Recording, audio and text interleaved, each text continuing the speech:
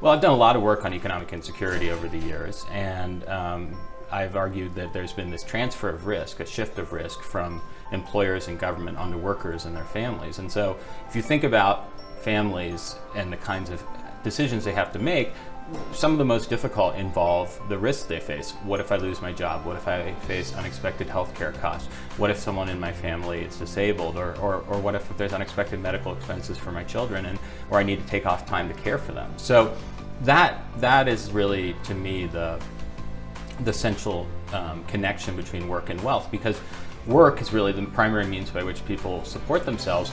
Wealth is the primary means by which individuals can protect themselves against sudden or large drops in income.